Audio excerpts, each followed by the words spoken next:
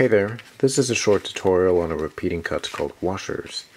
Now washers is really just two separate cuts which happen to combo pretty well. They're both a little finicky, so if you can't learn one, you can just learn the other. For the first one, you're going to do a charlier and drop the packet on these three fingers.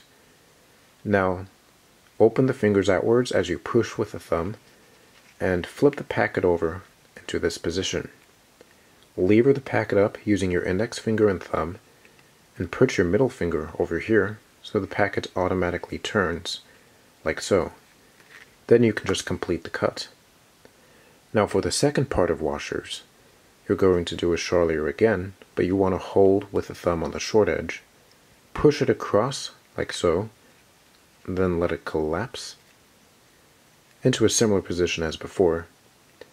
Now you're going to pinch between the thumb and index, use the nail of the thumb and index so that you can get the long edge against the pinky.